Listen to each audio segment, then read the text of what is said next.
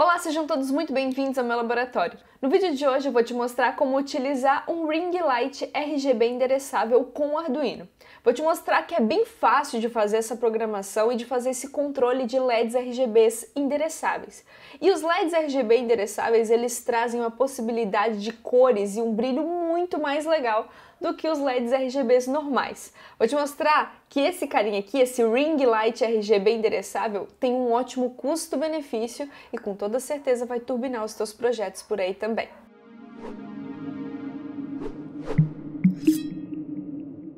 E o nosso vídeo de hoje ele é patrocinado pela PCBWay. A PCBWay é uma fábrica que produz placas de circuito impresso com ótimo custo-benefício. Foi com eles que eu produzi a maior parte dos projetos de PCBs que eu já produzi aqui junto com vocês, dos projetos que a gente produz em conjunto. E eu tô deixando o link deles aqui na descrição do vídeo para que vocês possam conhecer também, profissionalizar os projetos de vocês e produzir placas de circuito impresso com ótimo custo-benefício e um acabamento profissional. Eu vou separar a nossa construção em duas partes. Primeiro, eu vou te mostrar como fazer a ligação eletrônica desse ring light RGB e depois eu vou te mostrar a parte de programação. Então agora vamos lá para a bancada porque eu vou te mostrar como conectar corretamente esses pinos, tá bom? Então vamos aprender a fazer a conexão eletrônica aqui do nosso ring light RGB endereçável. Aqui na parte de trás desse ring light nós temos diversas marcações, estão vendo? Nós temos o DI, o 5 volts, o GND e o DO. O que, que esses pinos significam? 5 volts e o GND é a forma de alimentação. É dessa forma que a gente precisa passar a energia aqui para esse ring light. Então, os 5 volts nós conectaremos um pino que vai no 5 volts do Arduino, o GND um pino que vai no GND do Arduino. O DI e o DO significam o seguinte: o DI é, são os dados de entrada, os dados de input, e o DO, os dados de saída, dados de output. Isso porque a gente pode fazer um encadeamento de diversos ring lights, como esse daqui, em sequência. O que a gente vai utilizar? A gente precisa passar uma informação para o nosso ring light. Então, nós aqui vamos conectar o pino no DI. Caso tu tivesse mais ring lights para serem acionados e controlados ao mesmo tempo, tu colocaria então o pino que vem do Arduino aqui no DI e o pino que vai para o próximo ring light no DO, que vai conectar no DI do próximo ring light. Então, dessa forma, você pode fazer uma sequência de acionamentos. Nesse caso aqui, nós vamos fazer a conexão apenas desses três primeiros pinos, DI, 5 volts e GND. Bora soldar. Para facilitar essa conexão, eu vou utilizar alguns fios jumpers macho e vou fazer essa conexão aqui.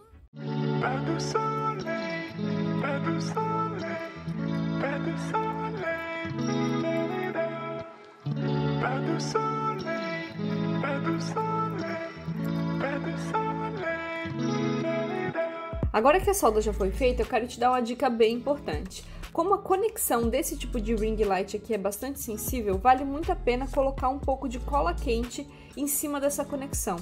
Assim, tu vai firmar um pouco melhor essa parte e proteger que os fios fiquem balançando e a solda acabe quebrando. E agora, para a conexão com o Arduino, temos então aquela sequência. O nosso 5 volts do ring light vai nos 5 volts do Arduino, o GND do ring light vai no GND do Arduino, assim.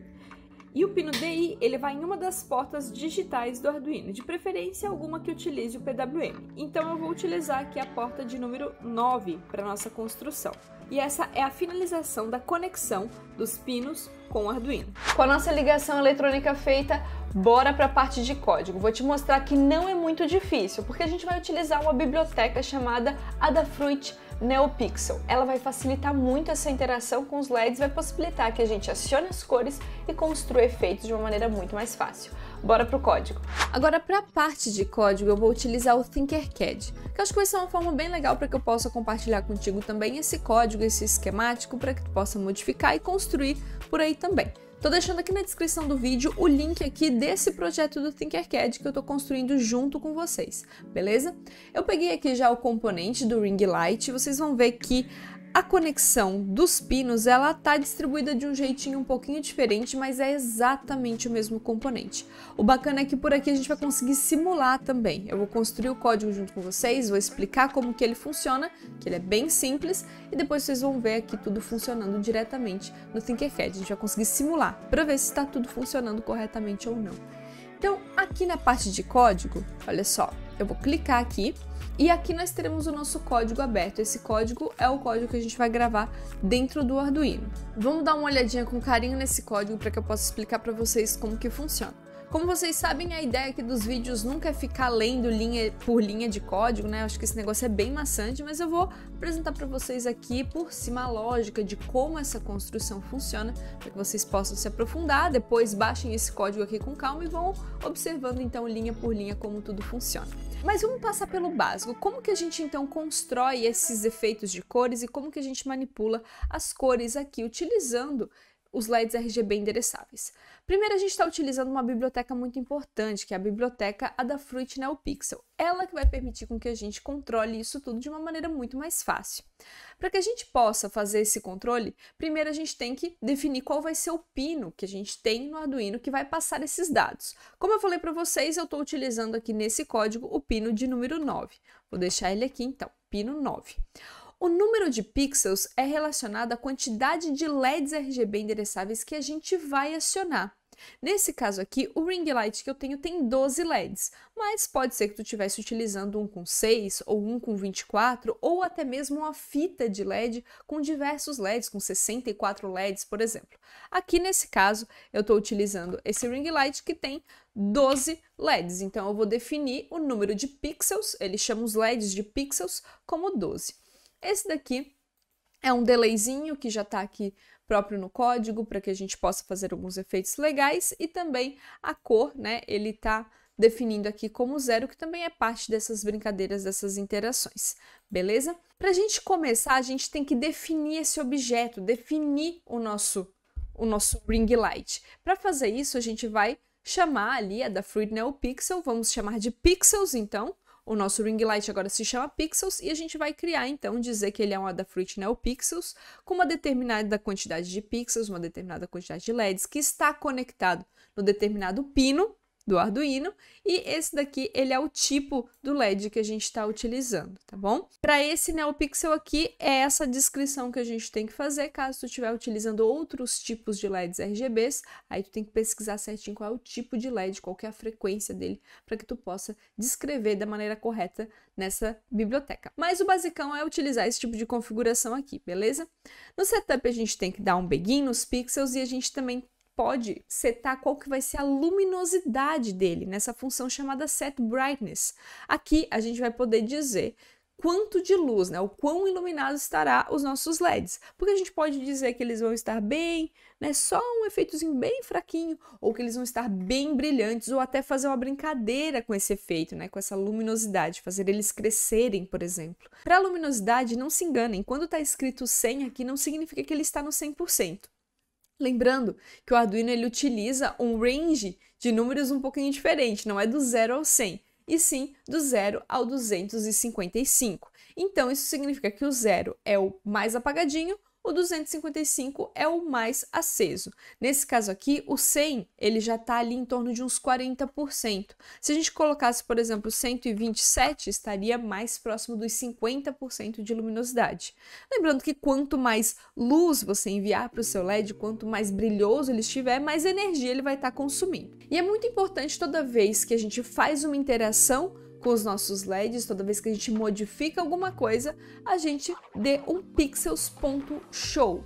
Essa funçãozinha aqui, ela é responsável por fazer com que alguma coisa aconteça, com que a modificação de fato seja processada e enviada para os nossos LEDs. E para a gente começar a manipular dentro do loop, então, o que foi passado por aqui foi o seguinte, ó, pixels.setPixelColor, para a gente então modificar qual que vai ser a cor desse pixel, Pixel, qual que é o número dele? Pixel 0. E qual vai ser a cor? R, G e B. Entenderam?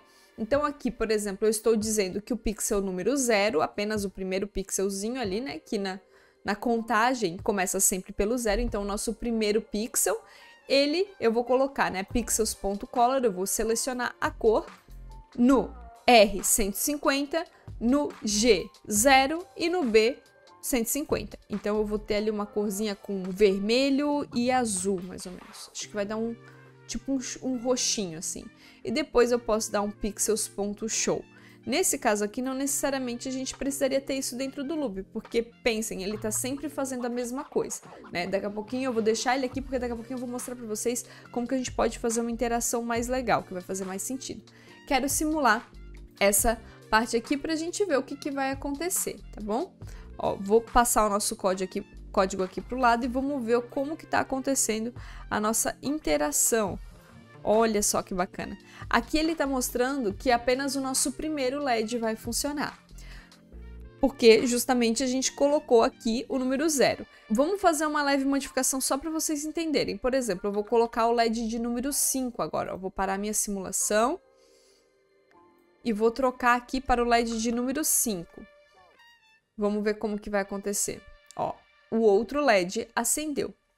Para que eu possa fazer com que todos os meus LEDs funcionem, eu preciso fazer uma interação, eu preciso fazer um loop para ir correndo por cada um dos LEDs e dizendo o que cada um deles precisa fazer. Para isso, eu vou construir com vocês uma funçãozinha, uma função que vai fazer com que todos os meus LEDs fiquem da mesma cor. Vou chamar ela, então, de colorir, acho que tá legal. E vamos passar já aqui os R, G e B que a gente quer, né? Qual vai ser a cor que a gente quer. Então, eu vou colocar aqui um int R, int B, opa, int G e um int B, dessa forma aqui.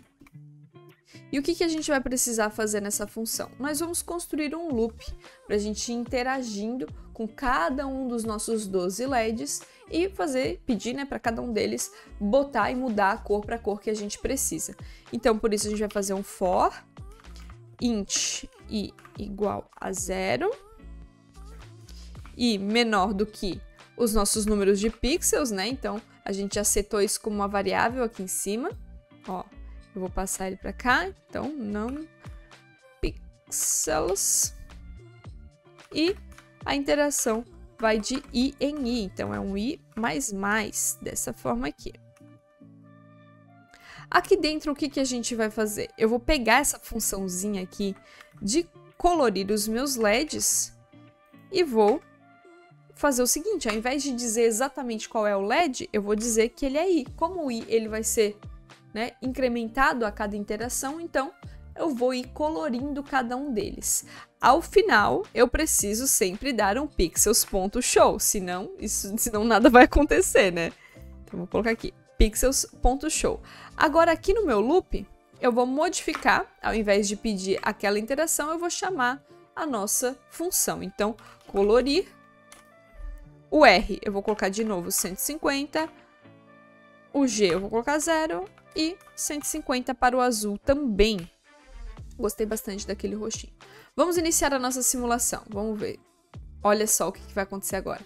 Agora sim, a gente conseguiu espalhar essa cor para todos os nossos LEDs. E é dessa forma que tu vai construir interações diferentes. Vamos supor que tu queria que em cada pixel ficasse uma cor diferente. Tu pode ir fazendo a manipulação dessas cores, modificando essas cores, construindo um efeito arco-íris. Não necessariamente precisa ter todos da mesma cor. Dependendo da função que tu for construir, o efeito vai ser diferente, vai ser muito personalizado pro teu caso. Então é muito bacana ficar brincando com todas essas cores e brincando com essa interação.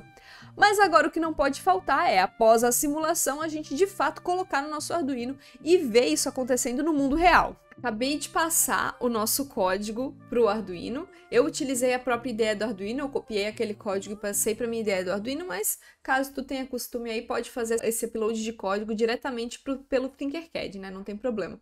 Mas olha só que bacana que o efeito ficou. Eu adorei essa cor. Gostei muito mesmo. E como a gente tem total domínio ali do quanto que a gente quer de cada cor, o quanto que a gente quer de vermelho, o quanto a gente quer de azul, o quanto a gente quer de verde, dá para construir cores muito personalizadas. Esses LEDs aqui, eles são até bem fiéis às cores. Então a gente consegue brincar com essa colorimetria, misturar as cores e construir cores bem personalizadas e bem legais. Olha como fica bonito. E eu tô colocando a minha mão aqui do lado justamente para vocês sentirem o quanto que ele tá brilhando em apenas 50% de luminosidade, para vocês verem como esse ring light aqui, ele é bem poderoso. Eu já utilizei esse mesmo ring light aqui em outras construções aqui pelo canal. Então, teve uma vez aqui, ó, que eu, eu até tirei ele aqui desse projetinho, eu coloquei ele junto com uma Raspberry Pi Pico, ó, que tá aqui, tá vendo? Então, ao invés do Arduino, eu utilizei uma Raspberry Pi Pico para ficar um pouquinho mais compacto, e eu utilizei uma bateriazinha, tá vendo? Aí eu construí como se fosse um, um ring light mais caseiro, assim, para me utilizar em alguns efeitos em live. Mas agora eu preferi trazer aqui para vocês ele sozinho para que vocês possam entender como que esse componente eletrônico funciona por si só. Vocês tenham liberdade de construir diversas interações com ele e inserir em outros tipos de projetos. Espero que vocês tenham gostado de conhecer esse ring light RGB endereçável e que vocês utilizem esses conceitos que eu apresentei para vocês hoje para turbinar os projetos de vocês por aí também. Se vocês tiverem dúvidas de como outros módulos, outros itens funcionam e principalmente de como fazer essa interação com o Arduino, deixa aqui nos comentários que eu vou pegar e vou produzir um vídeo de uma maneira bem fácil para que vocês possam entender como que se faz essa interação e como se constrói essa ligação eletrônica e programação para o Arduino. E é isso aí, pessoal. Eu vejo vocês no próximo vídeo e tchau!